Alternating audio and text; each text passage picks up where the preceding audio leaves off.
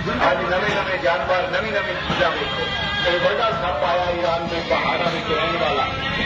Iran के पहाड़ा में रहने वाला बड़ा सप।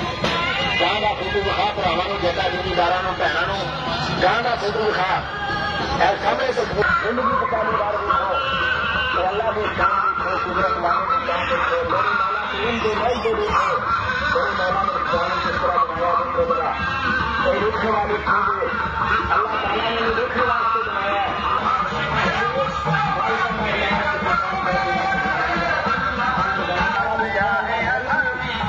Surely,